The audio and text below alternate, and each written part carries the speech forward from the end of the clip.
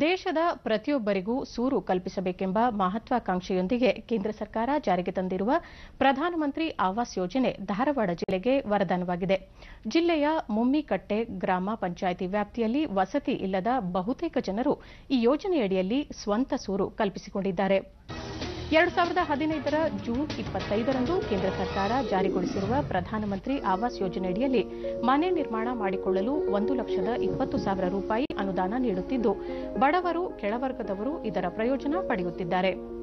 ಮನೆಯ ಜೊತೆಗೆ ಶೌಚಾಲಯ ನಿರ್ಮಾಣಕ್ಕೆ ಇಪ್ಪತ್ತು ಸಾವಿರ ಪ್ರತ್ಯೇಕ ಸಹಾಯಧನ ನೀಡಲಾಗುತ್ತಿದೆ.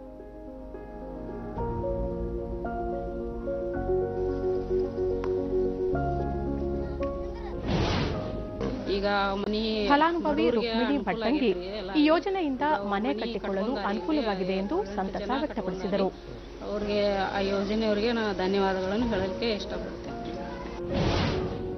ಮತ್ತೊಬ್ಬ ಫಲಾನುಭವಿ ಗಾಯತ್ರಿ ಪ್ರಧಾನಮಂತ್ರಿ ಆವಾಸ್ ಯೋಜನೆಯಡಿಯಲ್ಲಿ ಸ್ವಂತ ಮನೆ ಕಟ್ಟಿಕೊಳ್ಳುವ ಕನಸು ನನಸಾಗಿದೆ ಎನ್ನುತ್ತಾರೆ. ನಮಗೆ ಮನೆ ಇರ್ಲಿದ್ರಿಂದ ಮನೆ ಕೊಟ್ಟಿದ್ದಕ್ಕೆ ಚಲೋ ಆಗಿತ್ತು.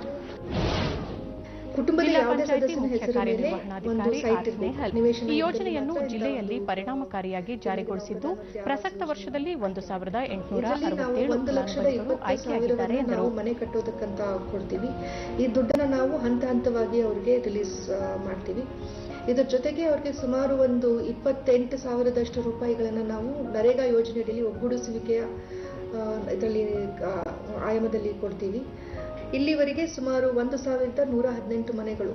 ಇದು ಎರಡು ಸಾವಿರದ ಹದಿನಾರು, ಹದಿನೇಳು ಹಾಗೂ ಹದ್, ಎರಡು ಸಾವಿರದ ಹದಿನೇಳು, ಹದಿನೆಂಟರಲ್ಲಿ ಹದಿನೆಂಟುನೂರ ಅರವತ್ತೇಳು ನಮ್ಮ ಟಾರ್ಗೆಟ್ ಇತ್ತು.